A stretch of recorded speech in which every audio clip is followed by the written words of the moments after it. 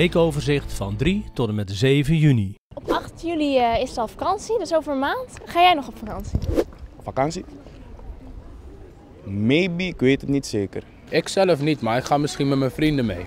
Hmm, weet ik nog niet, we hebben geen plannen. Ik ga op vakantie, ja. Nee, ik ga niet, wij gaan niet op vakantie, nee. Ik heb nog geen idee, het is wel de planning. Zit te twijfelen. Uh, van de zomer in ieder geval niet, misschien een weekje in juli. Als u op vakantie zou gaan, zou u dan naar het buitenland gaan of naar het binnenland? Suriname. Ja, misschien naar Italië. In de Aziatische landen. Mooi weer is in Nederland en als het slecht is dan buitenland. Naar Egypte. Frankrijk. Naar Indonesië. Heel warm, maar ontzettend leuk. En daarom gaan we er gewoon nog een keer naartoe. Ik uh, blijf in Nederland, ga met de gezin kamperen in Drenthe. Dinsdag 4 juni was de start van de avondvierdaagse. Een leuke en sportieve activiteit met heel veel snoep. GGD en de gemeente promoten een gezonde avondvierdaagse. Wat was de aanleiding voor deze promotie? De aanleiding van deze promotie is dat eh, de jeugd in Nederland eh, steeds dikker wordt. Ook in regio Gooi-Vechtstreek. En de gemeenten van deze regio hebben daarom eh, extra aandacht gevraagd voor dit onderwerp, jeugd op gezond gewicht. En dat doen ze dan samen met de GGD in het programma Gooi in Beweging. En dat uh, zet zich in om uh, door middel van gezonde voeding, het stimuleren van voldoende bewegen en ook door een, ja, opvoedregels in te durven stellen, het jeugd op gezond gewicht te houden. De avondvierdaagse is in eerste instantie een sportief, gezellig evenement waarin je met je medeleerlingen, medevriendjes, vriendinnetjes een sportieve prestatie levert. En wat wij vooral um, adviseren is om die snoepmomenten te beperken of liever helemaal uh, weg te laten. Doe het dan op het eind. Neem één keer een, uh, een flinke graai en uh, dat is het dan. Dan heb je ook maar één keer een zuurstoot voor je gebit ook. Hè? Want anders zit die constant met snoep te verwerken. En te kiezen voor gezonde zaken. Dat kunnen zijn snoeptomaatjes, van die kleine komkommertjes of die worteltjes of zoute popcorn suikervrije kauwgom. Je kan ook bijvoorbeeld als beloning een, een bosje bloemen doen. Dat was natuurlijk ook van oudsher. Hè? Dan gaf je bloemen ter beloning van het uitlopen van de avondvierdaagse. Er zijn genoeg alternatieven om niet naar die puntzak met heel veel snoep uh, te, te grijpen. En ook benadrukken wij de grote hoeveelheid frisdrank die er vaak doorheen gaat op zo'n avond. Er zit toch telkens, het zijn dat van die uh, verborgen dikmakers. Er zitten heel veel calorieën in. En uh, ja, water is ook een prima dorstlesser. En het blijkt ook uit onderzoek dat kinderen water drinken eigenlijk prima vinden. Dus als al die kinderen gewoon eens een, een leuke bidon of een flesje water meenemen, lest dat de dorst. En dat is, uh, kan ook prima. Het is gewoon soms even wat verder denken dan alleen maar aan snoep. Dat is eigenlijk wat we mee willen geven. Maar wat hebben de kinderen tijdens de avondvierdaagse meegenomen? Oh, uh, een citroen met pepermuntjes erop. Echt lekker! We mochten geen snoep, maar we hebben het wel stiekem gepakt. Heb je stiekem snoep gepakt? Ja, en ik heb het nu allemaal ja, zij, zij, zij, zij, zij, zij, Ik had mentos en ik heb een soort van energy.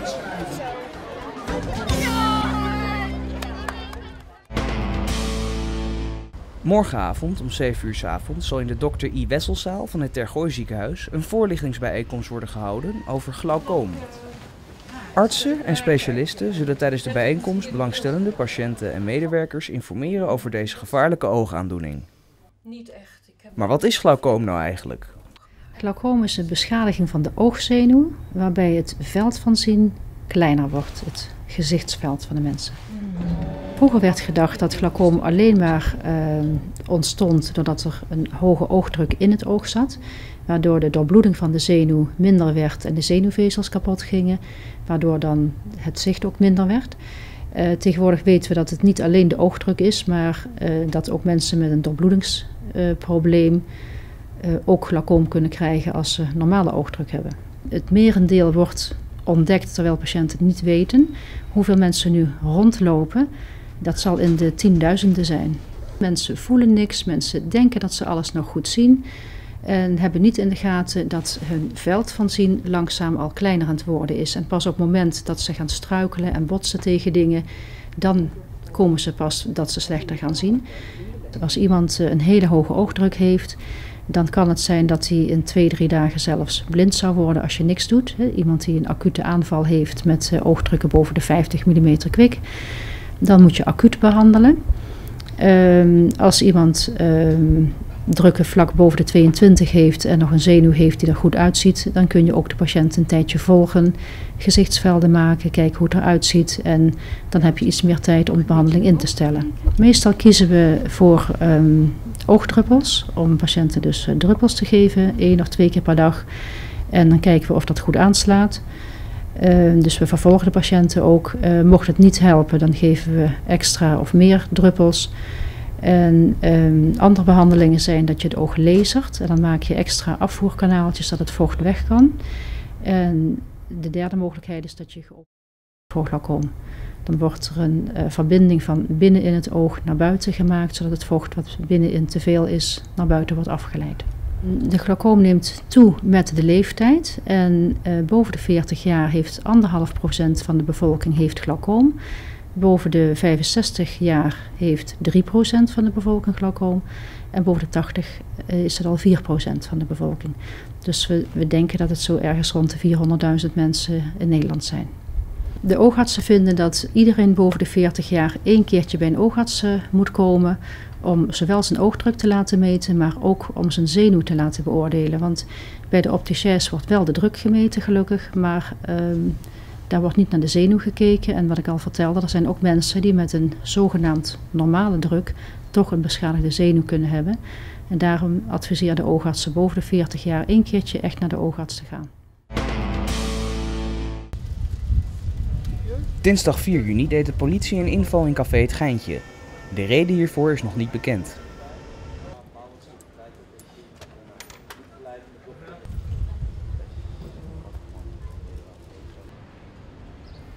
Eerder dit jaar werd het café al twee weken gesloten vanwege een vechtpartij.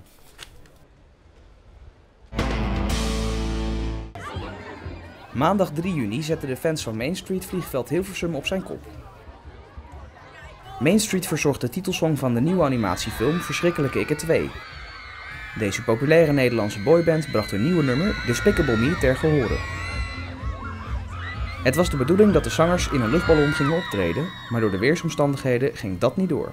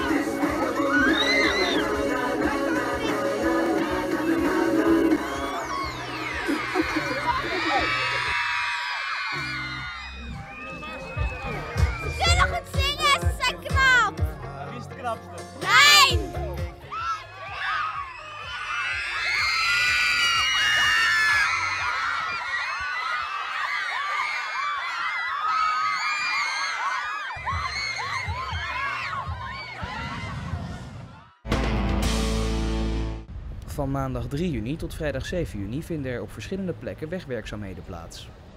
Er vinden asfaltonderhoudwerkzaamheden plaats op onder andere het achterom en op de Struisvogellaan.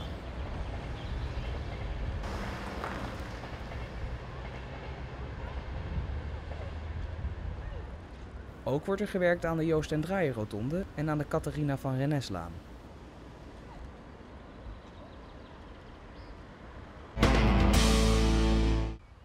En toen was het stil in het kamerad. Zeven jaar lang konden kinderen spelen op trampolines die door buurtbewoners op het grasveld geplaatst waren. Daar is nu een eind aan gekomen. De gemeente Hilversum is in actie gekomen naar aanleiding van een klacht van een nieuwe buurtbewoner. Een andere buurtbewoner reageert verontwaardigd. Ja, kinderen maken altijd lawaai. Dat hebben wij ook vroeger ook gedaan. Spelen moeten kinderen. Er is hier ook een scoutinggroep hier, hier, eh, hier eh, aan de Orionlaan. Die komen hier ook spelen, laat ze spelen. De handhavingsambtenaar geeft aan dat het plaatsen van trampolines niet is toegestaan, maar dat er niets mee wordt gedaan tenzij er klachten komen. Een verdere toelichting wil zij niet geven, want het is haar vrije dag. Zonder vrijwilligerswerk zou onze wereld er een stuk soberder uitzien. Bij het Instituut voor Beeld en Geluid bijvoorbeeld werken zo'n 50 vrijwilligers. Eén daarvan is Irene van Dijk. En dat doet ze al zo'n 18 jaar lang. Nou, het, is, uh, het is ontzettend leuk omdat je met heel veel verschillende mensen uh, ja, bezig bent. En uh, het, het, werk is ook heel afwisselend. Soms lijkt het wel op echt werk. Ik ben doorgegaan toen het oude museum sloot. En toen ben ik ja, in het papierwerk terechtgekomen. Heb ik wat in het archief gedaan. Ik vond het heel leuk om toch binding te houden met, met de hele organisatie. Ja. En dat is aardig gelukt, want uh, wij zijn al rondleidingen gaan geven toen dit gebouw nog in aanbouw was. Dus met de helm op gingen we met groepjes mensen door dit gebouw.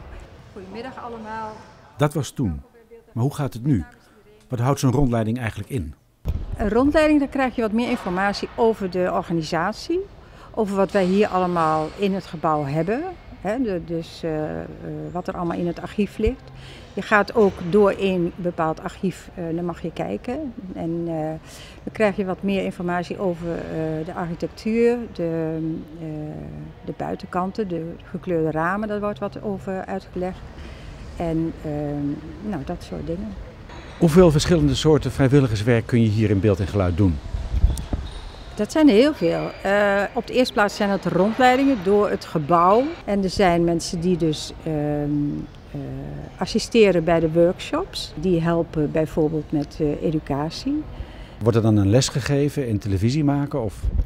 Ja, daar komen dan scholen binnen en die krijgen een opdracht om een item te maken. Een, een soap of een, een nieuwsitem. Er zijn mensen die zijn druk bezig op kantoor om allerlei platen en uh, muziek die dus uh, in het archief zit te documenteren. Want dat staat allemaal nu op microfisies. En die worden allemaal uh, omgezet en gedigitaliseerd. Dat gaat dan allemaal wat makkelijker okay. bereikbaar worden. In Mediastad Hilversum wonen veel omroepmedewerkers en technici. Mensen met een uitgebreide vakkennis en een schat aan ervaring. Een aantal daarvan werkt ook als vrijwilliger bij beeld en geluid. Daar heb, je dus, daar heb ik heel veel van geleerd. Want het zijn mensen die hebben echt uh, ja, aan de wieg gestaan van uh, televisie, zeg maar. Want in 1951 is pas televisie begonnen. Dus die hebben echt de beginfase meegemaakt. En ook van radio zelfs. Dus ja, die zijn er zeker. En die leveren ook echt nog een grote bijdrage, mag ik zeggen. Wij zijn nog uh, erg op zoek naar vrijwilligers. Dus uh, als er mensen zijn die daar interesse in hebben, ik zou zeggen, kom zeker eens een keertje langs. Kijk op de site van Beeld en Geluid. In principe kan iedereen binnenkomen. Je hebt helemaal geen uh, achtergrond van televisie of radio nodig. Maar je kunt hier dan, je, je krijgt dan een soort cursus. Je wordt wel eventjes uh, ja, gescreend, zeg maar. Of, of, ja, of je interesse uh, daar een beetje ligt en of je daar geschikt voor bent. Nou, wie weet word je wel collega. Dat zou zomaar kunnen. Er zijn nu twee vacatures. Voor meer informatie raadpleeg de website van Beeld en Geluid. De waterzuiveringsinstallatie op Annashoeve wordt na 43 jaar trouwe dienst eindelijk vervangen. En die levert niet meer de zuiveringsprestaties die we vandaag de dag uh, nodig hebben. Je moet je voorstellen, in, uh, in afvalwater zitten stoffen zoals stikstof, wat je ook in kunstmest voorkomt. Ja, en te veel van, van, van dat onderdeel kwam uiteindelijk hier in de Gooiengracht terecht. Dus het werd echt tijd om een nieuwe zuivering te bouwen. Zo gezegd, zo gedaan. Eind 2011 is begonnen met de bouw van de nieuwe waterzuiveringsinstallatie. Bij het ontwerp is extra aandacht geschonken aan de vormgeving van de tanks. Er is bij deze zuivering echt gekeken naar uh, hoe kunnen we hem inpassen in de omgeving. En daarbij is uh, rekening gehouden met uh, de natuur hier omheen. Maar ook met het feit van dat hier een woonwijk komt te liggen in ieder geval. Want hij moet natuurlijk nog gebouwd worden. Heel bijzonder is ook dat daar een, een grote ja, berg eigenlijk komt. Dat is een wandelgebied. mensen kunnen hier op deze zuivering kijken. En dat is, dat is heel bijzonder. Want meestal zijn ze weggestopt op een industrieterrein. Maar hier kun je echt zien wat er gebeurt. En uh, dan is het natuurlijk wel, uh, wel zo mooi als die mooi ingepast in de omgeving ligt met de kleuren die passen bij deze omgeving. Een stukje terug, naast de Antonie Fokkerweg, wordt ondertussen hard gewerkt aan de nieuwe rioolverbinding die het stadsriool moet verbinden met de nieuwe waterzuiveringsinstallatie. Dit is uh, een buis van het stamriool, een betonnen buis met een diameter inwendig van 2,60 meter. Deze is al grotendeels hier aangelegd. We moeten hier nog uh, 30 meter aanleggen door de wasselbak hier. En dan uh, is het riool aangesloten. 20 augustus gaat de nieuwe zuivering draaien. En dat betekent ook dat onze riolering moet klaarwezen. Als de omslag van de oude waterzuiveringsinstallatie is afgerond, wordt de oude waterzuiveringsinstallatie gesloopt en kan nog op die plek in 2014 begonnen worden met de bouw van de nieuwe eco-woonwijk, bestaande uit 600 woningen. Simone de Meijer won begin dit jaar goud met etaleren op de Euroskills. De Euroskills is het Europese onderdeel van de WorldSkills. Een wedstrijd op het gebied van vakmanschap. Simone kwam op bezoek in het gemeentehuis en werd ontvangen en gefeliciteerd door burgemeester Broertjes en wethouder Boog. Het college sprak haar steun uit voor de deelname van Simone aan de WorldSkills finales in Leipzig, Duitsland. Maar uh, in ieder geval heel veel succes uh, in Leipzig. En uh, nou ja, dit te ondersteunen. Ja, heel erg bedankt. Alsjeblieft. Dankjewel. Krijg je nog een hand? Ja, dankjewel. In Leipzig. Ja, heel erg bedankt.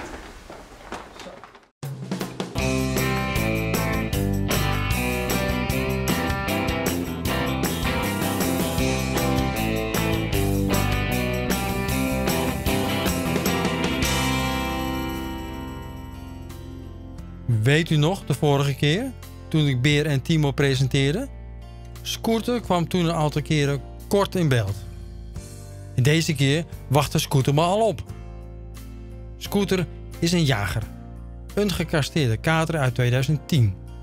Hij kan moeilijk met kinderen omgaan, kan zelfs honden aanvallen en heeft toch een lief karakter. Maar let op, Scooter is een jager.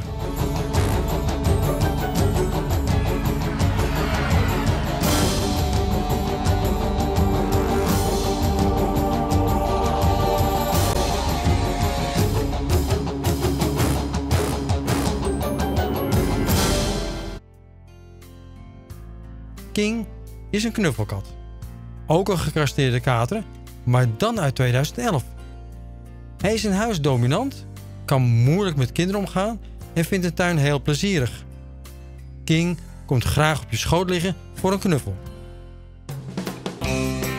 Wilt u meer informatie? Bel of beter ga naar het dierenasiel.